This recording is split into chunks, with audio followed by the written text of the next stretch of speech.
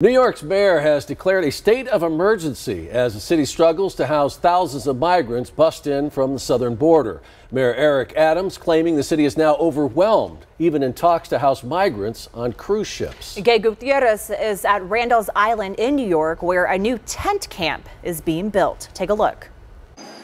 With bus after bus arriving from the southern border, this morning New York City is under a state of emergency.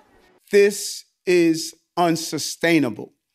The city is going to run out of funding for other priorities. Mayor Eric Adams says the city is burning through a billion dollars this fiscal year on what he calls a humanitarian crisis. More than 61,000 people living in shelters. We need help, and we need it now.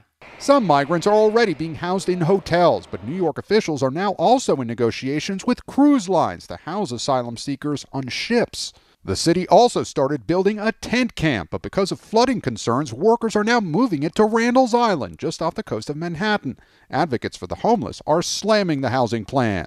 These facilities tend to be erected or docked in places that are very far from mass transit and services. Weeks after Florida Governor Ron DeSantis chartered a flight full of migrants to Martha's Vineyard, the battle over the border is heating up ahead of this year's midterms. Mayor Adams is blasting Texas's Republican Governor Greg Abbott, who's been busing migrants from his state. Abbott's office telling NBC News Mayor Adams is an absolute hypocrite, adding instead of fear mongering and complaining about a few thousand migrants in his sanctuary city, Mayor Adams should call on President Biden to do his job and secure the border. Buenos dias.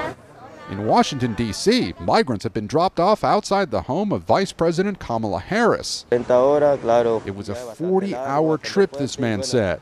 Back in New York, charities are struggling to keep up. This weekend, hundreds of migrants, many from Venezuela, lined up for warm clothes as winter approaches.